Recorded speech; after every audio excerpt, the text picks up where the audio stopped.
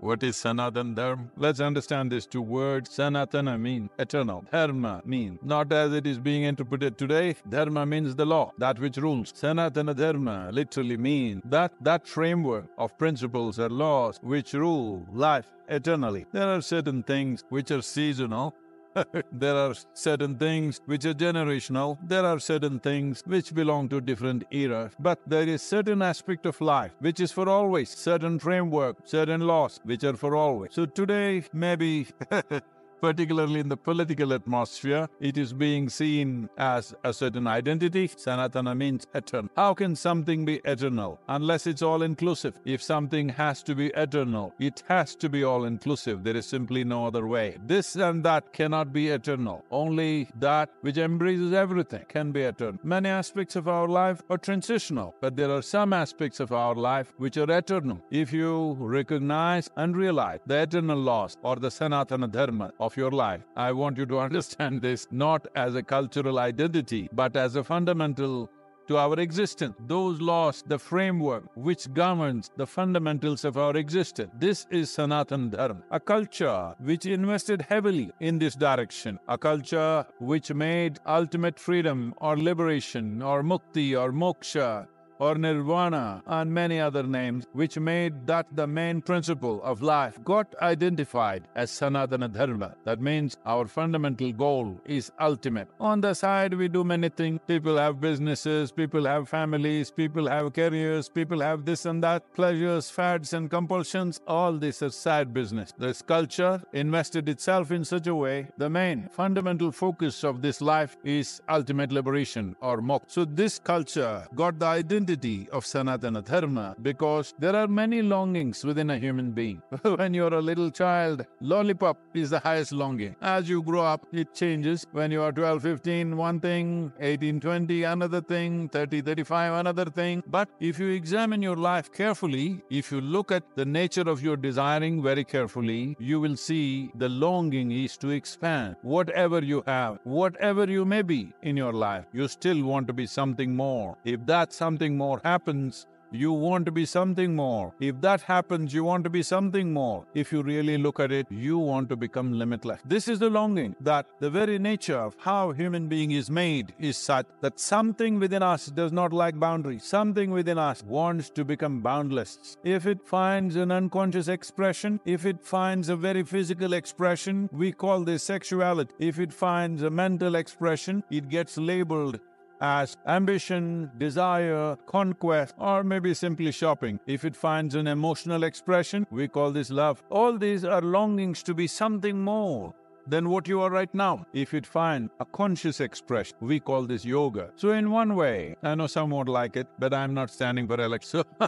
so in some ways, what you are recognizing as Sanatana Dharma as a culture is a mass application of yogic sciences. When you want to apply a profound science to a whole population, it needs to go through a certain amount of transformation. So that transformation today generally getting identified as Sanatana Dharma. But the most important aspect is that Sanatana Dharma means you are not caught up with the immediate needs of the day. Your focus is always pitched towards the ultimate goal of life. Day to day things you'll handle it to the best of your ability, but that does not determine the quality of your life. The longing that you have to become free, the longing to become one with everything. When you say free, you want to become free from your individual nature. In a way, you want to become free from your own existence so that you become one with everything. That's why I said nothing can be eternal unless it's all inclusive. Sanatana Dharma, the only way forward, if you ask. Not as a religion, not as an individual culture, not your culture versus my culture. But at some point, if human beings don't look beyond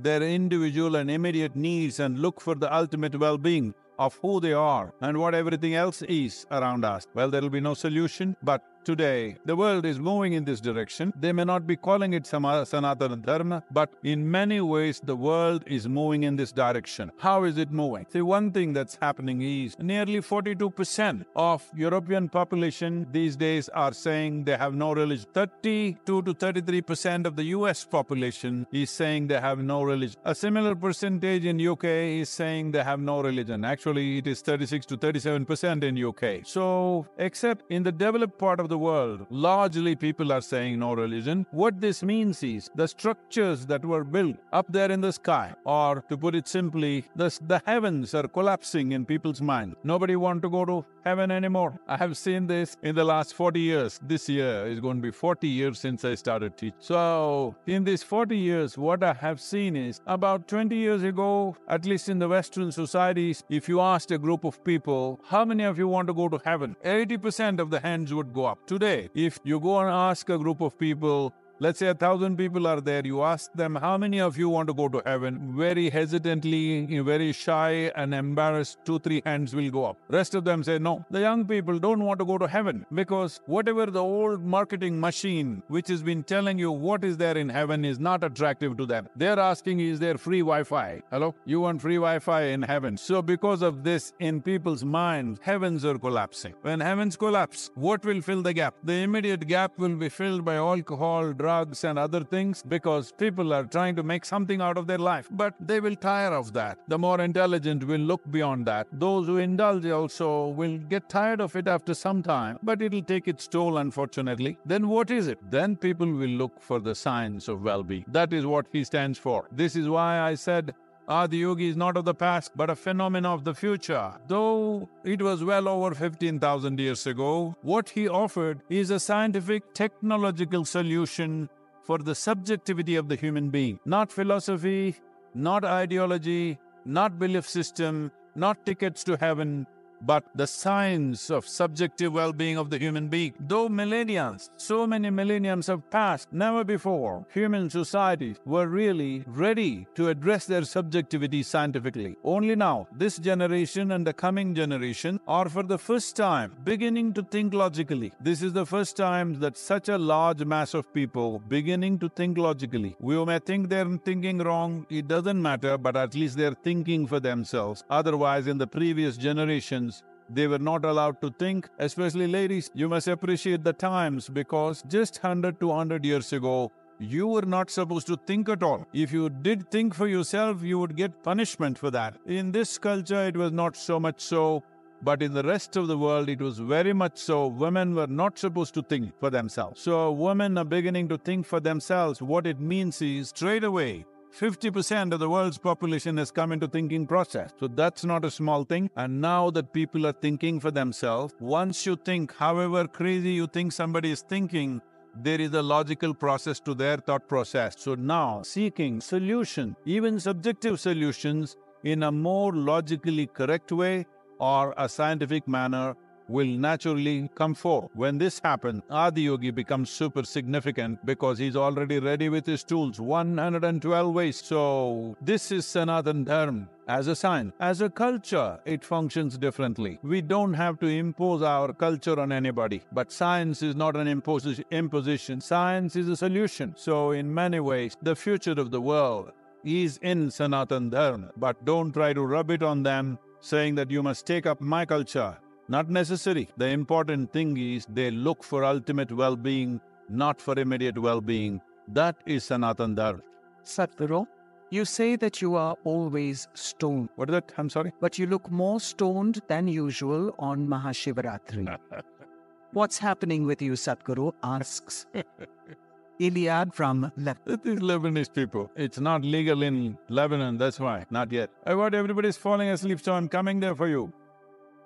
Some Lebanese lady is accusing me that I'm more st- stoned than usual. I want to show you I'm doing fine, huh? Am I? Haven't I? Haven't I awake enough, alert enough? See, they're from Lebanon. Somebody's saying I'm more stoned than usual. well, see, when we were designing Adiyogi's face, it took me over two and a half years to get it right. What, it, what is it that was so complex about it? We wanted to get stillness, exuberance, and intoxication in one face. Do you think you have somewhere close there? So, why is intoxication important? Because if you are not intoxicated, you will die of stress. Yes, that's what I was telling you. There is scientific research to show that the cannabinoids or endocannabinoids produced in the body are up 70% for somebody who's just started Shambhavi Mahamudra. Don't ask me what is my percent. 70% high means, as I said earlier, it is much higher than what happens even in a sexual intercourse. It's much higher than that. Just sitting here, you're blissed out. This is how you become free, not by denial that you become free. You become free because just sitting here is just so fantastic. Just being alive and breathing is so absolutely bliss- blissful. You don't have to do anything else, you're just fine. So, what is special about this day? As we have told you a thousand times, there is a natural upsurge. When there is a natural upsurge, cycle is broken, there shall be no life. Let me tell you a little story. Can I tell you a story?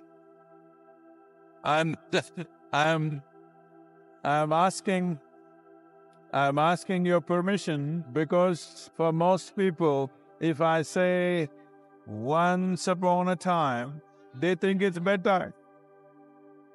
This happened not so long ago. Uh, a rich man, a rich family built a nice new house. It is part of the culture here that when you build a new house, generally in the rest of the world, they will party, they'll get drunk and get sick on the second day of going into their new house. But here, they will invite a sage, a seer, or a yogi to come and bless their house. So they invited a yogi. He arrived. He's a yogi. But they welcomed him like a king. They did all the best things that they can do to a guest, fed him well. Then time to leave is coming. So Location from Delhi and Sadhguru, Himalayas and Kashi are more closely associated with Shiv. Instead of those places, why do you choose southern India to establish Adi Yogi and celebrate Shiv? And not everything you choose, some things choose you. Hello, both of you. this, this, this Lebanese lady has a lot of questions. Let me answer. So, why Velliangiri Hills? Not my choice. Probably I've said this many times, but you know, she's Lebanese. She's not heard me. Well, right from my infancy, I always had a mountain peak in my eyes, in the background of my vision. Always a mountain. This will be this will sound crazy because till I became 16 years of age, I thought there are mountain peaks in everybody's eyes because it was always there. When I'm awake and asleep, it was always there. When I was around 16, you know, that's when you really start talking. Then I realized nobody has mountains in their eyes, just me. So I started trekking. I trekked Western Ghat, almost every peak in these 1700 kilometers from Karwar to Kanyakumari. I did 11 times and climbed every peak. Then I realized I'm not finding it, it's somewhere else. Then thinking it could be because everybody in India was talking about Himalayas. So when I was 19, for the first time, I went to Himalayas. The moment I saw those peaks, I know it's not there because they're very different in their structure. But from the age of 19, 27 years, every year I trekked in Himalayas. So you're asking why am I not feeling cold? That's why. because I'm internally air conditioned, both cold, hot.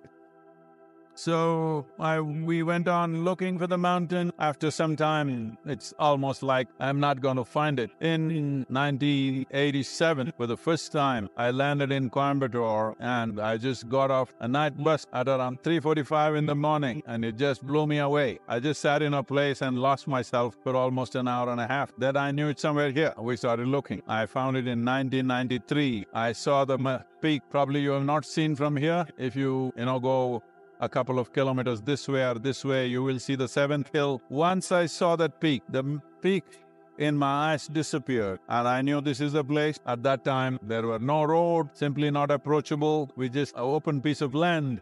I just said, This is the place. We didn't know who owned it. We did not know it's available or not. But on the 11th day after I stepped in all this land, we had registered the land in the name of the foundation. And since then, there's been no looking back. So I'm not all choice. I'm a slave, blissful, that's all, but slave. Not everything is my choice. Not everything is nobody's choice. Barbara from the US asks Shiva has so many conflicting qualities. He's the greatest dancer, also sits absolutely still. He's the ultimate ascetic, but he's also married. What Sadhguru is the true quality of Shiva? Well, this is a, a very disturbing issue of modern time that everybody has to be something. You can't just be just like that. You got to be something. Everybody wants to nail you with one quality, but that's not the nature of a human being. One moment you're wonderful, another moment you're nasty. Hello? You do that. or not? Another moment you're blissful, another moment you're a little pensive. So many things. A human being can be so many things, but we are always trying to nail one quality on somebody. Somebody is a good guy, somebody is a bad guy. I have never seen a good guy or a bad guy in my life. Everybody is capable of everything. Hello? But Whole cultures are going about saying, these are bad guys, these are good guys. I said, you're bad guys. You okay? There is no such thing. This is the beauty of being human, and this is the danger of being human. That you're walking one step out, you fall on your face. Right step, everything is fine. This is so around you and also within you every moment. This is why consciousness to Shiva or you call someone Shiva because he has tasted his nothingness. He is not just tasted his good and bad. He has tasted his nothingness. You definitely cannot call nothingness good or bad. Well, some people will name that also, nothing is bad.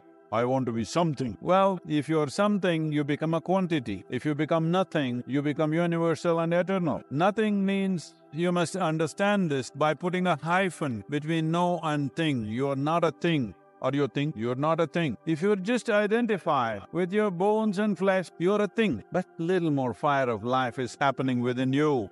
We can't call you a thing anymore. Hello? We can't call you a thing anymore because this is life. So Shiva is exuberant life. You cannot contain him to any particular value, to any particular quality, to this little.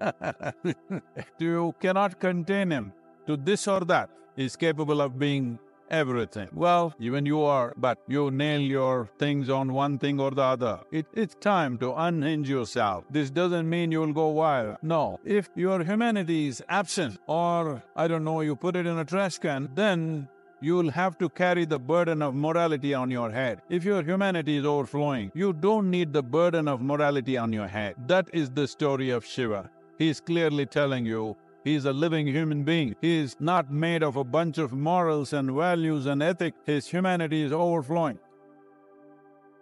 Sadhguru, we have time for two more questions. Pooja from South Africa asks, Why do we worship Shiv when he was surrounded by distorted and demented beings, Ganas and Rakshas? Like this. See, uh, this is a very serious and painful problem that human societies have carried for generations, for centuries and millennia. If somebody doesn't look like you, you think something terrible should be done with them. Hello? They just don't look like you. They can be just a different gender, they can be a different race, they can be different something, just different. Because somebody is different. You think they're not all right. How many terrible things have we done simply because somebody looks little different from us? How many terrible things? So once again the same question. He's got gana, distorted beings. See, today the young people, see that hairstyle looks distorted to me.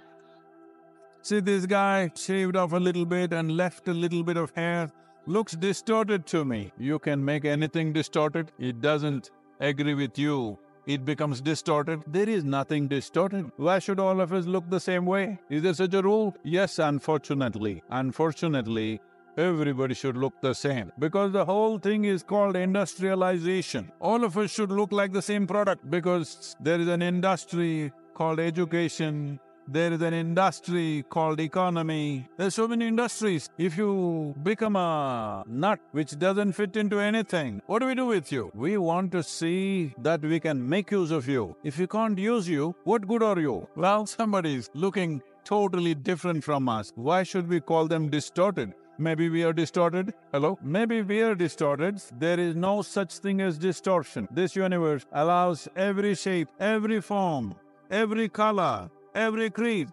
This allows everything. There is no such thing as distortion in this universe. Tell me, is planet Earth distorted? Suppose you look like planet Earth. Are you distorted? I leave that to you. So, your ideas of distortion are rooted in your prejudice as to who is distorted. How do you know you are not distorted? Shiva himself was considered distorted when Right. There is there is technological problems as to how far I can go. So when like uh, you know today is Mahashivratri, the ascetics see that this is the day when he became Achaleshwara. That means he became absolutely still, like a mountain he became. The householders, family people believe this is the day he got married. This is his wedding anniversary. Let me tell you something about his wedding. When Sati when when his wedding was fixed with Sati, who was uh, the daughter of a king, the father completely disowned the girl because she wants to marry this absolutely crazy looking man with dreadlock, ash smeared from head to toe, wear elephant skin around his waist, that too freshly skinned, still dripping blood. That's his clothing, that's his dress. So uh, the father said, No way, you marry this man, finished. No, no, absolute no. And somehow she convinces the mother, and the mother, seeing the girl is absolutely in love, she to this, and somehow the wedding is fixed. Then everybody who is somebody, all of them arriving the local small kingdoms, princes, princesses, everybody in their best attire, all coming for the wedding. And Sati is all fully dressed up, everybody is ready. Then Adiyogi Shiva comes with full dreadlock, ash smeared, blood dripping from his elephant skin, and all these his friends who are all, they even have limbs. They have limbs which have no bones. So you know what all they can do. Even though you got bones, see what all you do. If you had no bones, how many things you would do? They were doing all that. People just saw, oh, what is this? And when he arrived, Sati's mother, Meena, saw him, thought that my girl is going to go with this man. She just fainted. Then Sati knew this is going to be a disastrous marriage now. So she went to him and said, Please take on a more socially accepted form. He said, What? what what's wrong with me? A little, not drunk from outside, drunk from inside. Then she said, Please, my mother has fainted. She will lose her life if she once again sees you like this. Then I said, Okay, your mother Alright? And he transformed himself into a resplendent being. In that form, he was called a Sundaramurti. That means the most beautiful man. So then the wedding happened. Then the father also could not believe, wow, this is the man, the same guy. This has happened sometimes. Hello? So this aspect of what is distortion is all in our mind. If we learn to simply look at things without our own judgments about everything, everything has its place. Hello? A worm, an insect, a bird, a creature creature, everybody has their place, isn't it? Not just us. And that too among us, they must look like us. If everybody just looked like you, could you live in this world? Hello? Nobody looks like you. That is the blessing we have. If everybody looked like you, finished your, don't never ask for this. And also, what is it, the problems that you have with people around you? They're not like you. That's the problem. Yes, you can't get along with somebody. Why? Because they're not like you, not just physically, in every other way. Just I want you to imagine, just one more person just like you in your house. Can you live there? One is too much. So we are glad nobody is like us. Hello? We are really glad nobody is like us. If there was one more like us, we will have to exit.